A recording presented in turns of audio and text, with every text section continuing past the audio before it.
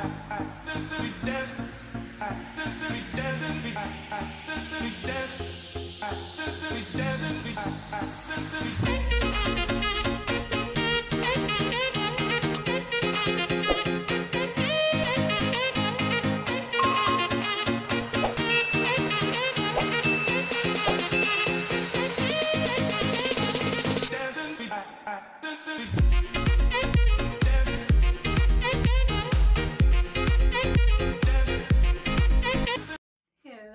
kakabsat! Welcome back to my channel. So today uh, is Saturday. So another vlog po tayo today kakabsat. And then uh, it's been a while na hindi po ako nag-vlog kasi super busy po ako sa work and of course live stream.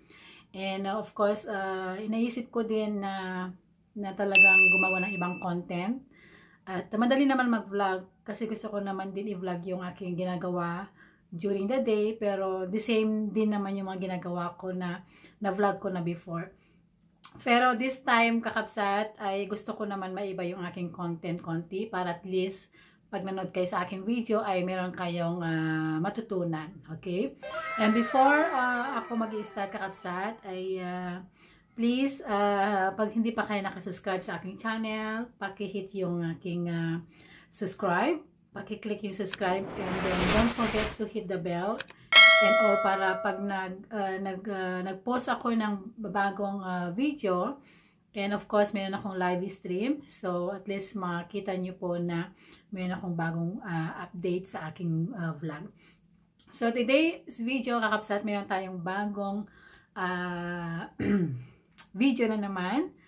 Uh, naalala niyo po yung aking previous video about sa ano sa tawag niyan about sa five uh, uh, five uh, places na pwedeng puntahan dito sa Netherlands na talagang magandang puntahan lalo po sa mga baguhan pa lang at wala at hindi pa sila nakapunta dito at yung mga places na pwedeng puntahan at bisitahin, di ba? So, for this uh, this video kakabsat, ay gusto kong i-share sa inyo. Hmm, ito po ay nakaka little bit exciting kasi lalo na po sa mga pupunta dito na baguhan pa lang or pupunta dito para mag-tour lang. At least meron kayong idea uh, ano po yung mga bawal dito o hindi gawin. Yung mga bawal na hindi pat, yung bawal na hindi dapat gawin dito. Para at least meron kong mayroon kayong idea na, na, na gawin. Kasi dito sa Netherlands po ay little bit napaka-strict.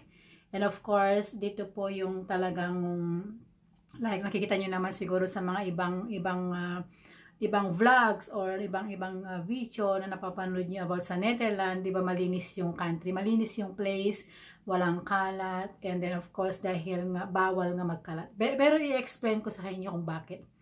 So, kakapsat yung ating uh, ating uh, video is things not to do in the Netherlands. So, ibig sabihin yung bawal na hindi niyo po pwedeng gawin.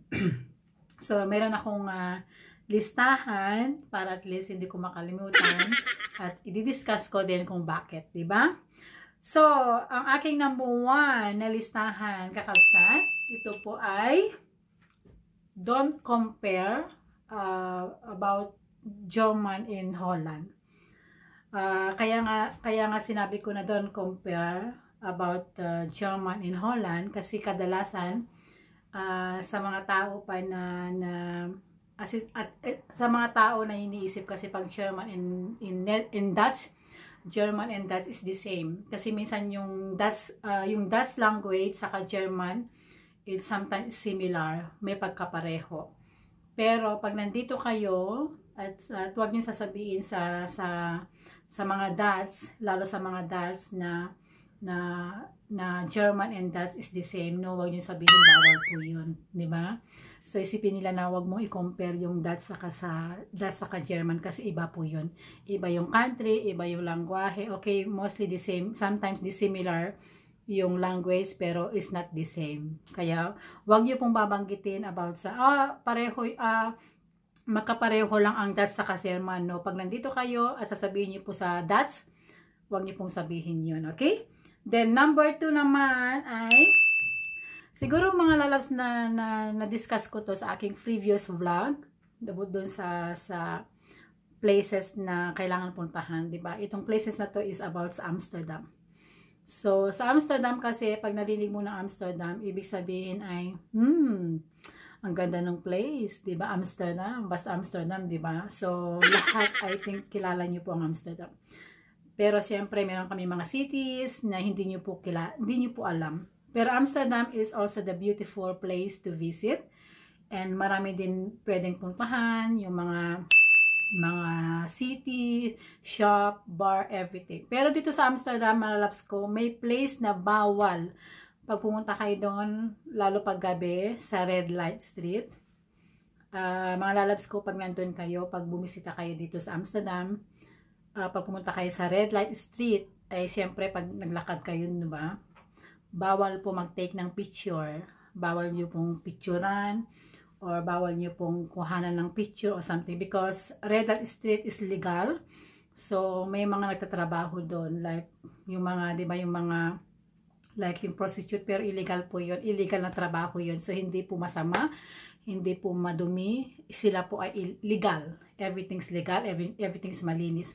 Pero bawal lang pong uh, mag-take ng picture. Kasi pag once nahuli kayo ng police, ay hindi ko po alam, magmumulta kayo or idadalhin kayo somewhere. I think hindi naman siguro makukulong pero basta bawal po, bawal po yung mag-take ng picture. So, yung uh, picture sa uh, Red Light Street, okay?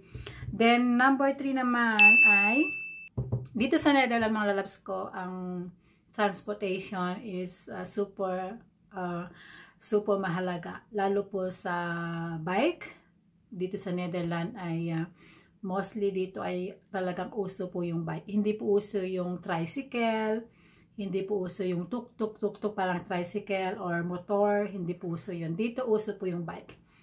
Kaya naman uso dito yung bike kasi uh, tawag niyan, uh, parang madali lang, easy lang. That is your, uh, your own time.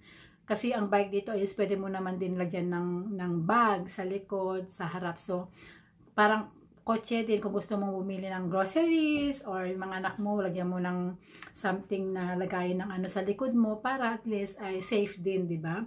Pero, mga lalabs ko, dito po, uh, uh, pag, nag, pag nag-bike kayo, ay uh, dito po lalo-lalo na po sa Netherlands, meron kaming uh, bike uh, lane, meron kaming road lane, so ibig sabihin, dito bawal kang uh, mag-bike dun sa talagang uh, uh, tawag, tawag niyan road lane ng kotse, yung mga ganyan. So, meron kami talagang uh, lane para sa bike, para sa ano, sa biking. So, pag pumunta kayo doon at nakita kayo ng police, magmumulta kayo. So, kailangan i-follow mo yung rules. Merong bike lane, then, then meron mga light. Alimbawa, eh, parang ano din, parang nagde-drive ka din. Kung pag, pag nag-stop ka doon sa red light, so may green and blue, uh, may green and red. So, pag green is go, pag red is stop. Ganun. So, kailangan mo i-follow yung rules na kailangan talagang yung bike, kailangan doon ka talaga sa, ano, sa, sa daanan ng bike. So, otherwise, kung hindi ka kaya sa Pilipinas kasi na doon kasi wala tayong ano ni, wala tayong kalsada ng bike, 'di ba? Doon is as in talagang kalsada talaga ng kotse, lahat. Ewan ko ngayon na kung meron ng talagang special para sa bike. And also, mga lalabs ko, number 4, uh, dito po ay, uh, di, dito po sa Netherlands, bawal po magkalat. Like, for example, kumain ka ng banana, nandiyan ka sa labas, naglalakad ka sa, bana, sa labas. Tapos, uh, may dala kang snack, di ba? Or, or galing work, or nasa work ka, tapos lumabas ka, tapos kumain ka, then itapon mo lang dyan. Bawal po yun. Kasi pag once nakita ka po ng police, magmumulta ka ng I think 60 euro. 60-70 euro, euro multa mo. So, dito is napaka-organized. As in talagang bawal po yung magtapon lang ng kung ano magtapon. Basta dito kasi every every way, every place na pupuntahan mo, meron kami, meron kami ditong trash bin. So doon mo itatapon yung bas, yung ano, yung ano mo, yung uh, basura. Kung ano po yung hawak mo, kumakain ka or doon mo po itatapon. Then, uh, dito po sa, sa Netherlands din, uh, ito po ay napaka-interesting, di ba? Kasi sa Pilipinas, lalo po sa Pilipinas is napaka ano natin, napaka-galang. 'di ba Lahat tinatawag natin mom, sir, or ate, kuya, manang, manong. So, lalo sa Pilipinas, pag, uh, pag alam mo na mas maangat yung tao sa'yo, ay uh, tinatawag mong uh, ma'am, sir. So, dito na naman sa Netherlands, mga ko, hindi po uso yun. Kahit sabihin mo na lawyer yung ano, yung kausap mo, eh, tatawagin mo lang yung kanyang pangalan or it doesn't matter kasi dito kung medyo mas edad sa'yo, tawagan mo ng Minir, Mifrau. Hindi po uso yung sir, ma'am. Hindi po uso yun dito. So, pag nandito ka, pag, pag uh, limbawa na hindi mo kilala yung tao, hello, ganun lang, hello. Uh, pag gusto mo naman mag, magtanong about dito sa Netherlands, hindi mo, wag, uh, pwede mo sabihin ng ma'am sir, pero dito hindi po uso yun. Hindi po uso yung magsabi ng sir o ma'am or something like that.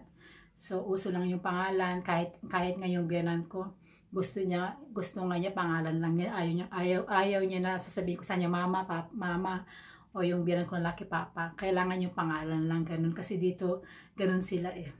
So, yun ang number five. Then, uh, ano pang uh, next natin na uh, sasabihin? So, yun yung five things na, things not to do in the Netherlands. Napaka-simple lang naman dito kasi, alam niyo dito sa Netherlands is napaka-organized, napakalinis, as in talagang dito ay uh, napaka-easy. Halimbawa, kung nasa labas ka, makita mo na, makikita mo naman lahat ng mga instruction. Pag, uh, pag nag-bike ka, makita mo naman yung bike line, bike, bike, lane na pang bike talaga or uh, ano pa or also uh, bawal tumawid ha hindi kagaya ng Pilipinas na kung gusto gusto mo lang tumawid bawal po yun meron meron kaming special na tawiran yun. Kasi pag tumawid ka dun sa hindi tawiran, ma, ma ano ka, madidisgrasya ka, talagang uh, talagang mapapaano ka, mapapahamak ka. Then also, yun. And ano po yung mga bawal? Uh, kailangan dito bawal din, kailangan dito din ay uh, ay uh, tawag niya pag nandito ka sa Netherlands is okay lang na magtanong ka sa mga sa mga tao pag halimbawa hindi ka marunong mag-Dutch uh, tips ko lang po kung pumunta kayo ng Netherlands, ang tips ko para hindi po kayo mahihirapan kasi every station na pupuntahan nyo ay meron naman silang guide. Pwede kayong kumuha dun ng, ng uh, tawag na yung, yung guide na kung saan kayo pupunta or pwede kayong magtanong dun sa information and then nag-English naman sila. Marunong naman sila mag-English. Saka super help help naman sila sa mga tao na lalo sa mga tourists, di ba? So yun, so yun kakapsat ang aking may share sa inyo about dito sa Netherlands yung mga bawal. At least meron kayong konting idea. And pag nandito kayo sa Netherlands ay yun po yung aming uh, aming rules, 'di ba? Ako ay nung una po akong dumating sa Netherlands, ganun po ako. Talagang uh, ano bang gagawin lalo po sa pagbabike nung takot ako. Tapos pag nagbike ako, hindi ko alam kung saan ako magbabike. Hindi ko alam kung pwede ba ako magbike doon sa kung saan yung kotse, saan yung car, saan yung uh, road ng car, hindi pala, bawal yun. Kailangan talaga doon ka, i-follow mo yung rules. Kailangan pag nakita mo yung red light, yung blue light, and then mag stop ka. Otherwise, ay uh, sasagasahan ka nila. So, yun kakabsat ang ating uh, ating simple uh, vlog for today. At least may konting, sana may konting aral kayo na napulot sa aking uh, vlog. And also mga lalabs ko mag-comment kayo down, down below kung ano po yung gusto nyong katanungan about sa Netherlands. And then isi-search ko po yan. Pag hindi ko po alam ay isi-search natin. Marami, marami naman paraan para malaman natin kung ano po ang mga ang mga talagang uh, rules. O, diba? Kasi dito naman sa dito naman sa Netherlands napaka-easy lang naman. Small country lang. Super small country lang to, 'di ba? So anyway, kakabsat, and then that's it. So sana nag-enjoy kayo sa aking uh, pa-vlog for today. And please, kakabsat again, kakabsat, if you like my video, please give me likes and subscribe my channel. And of course, hit the bell and all notification. Thank you, thank you so much, kakabsat. And please, uh, join kayo sa aking live stream. Tuesday, uh, Monday, Tuesday, Thursday, Friday, Saturday because we have uh, upcoming Grand LS. My birthday is coming soon. Please join kayo kasi meron po tayong uh, napaka-bonggang pa-prices. At uh, sana mag-join kayo sa aking uh, live stream. Pumunta kayo sa aking live stream. Mag-shout out lang kayo. Then, uh, entertaining ko kayo. Okay? Thank you and then mag-ingat kayo lagi. God bless you all. I will see you to my next vlog. Bye! Mwah!